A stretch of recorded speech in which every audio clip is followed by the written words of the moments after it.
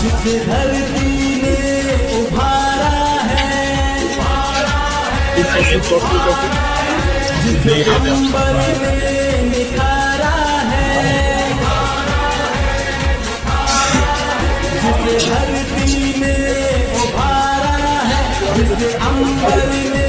निखारा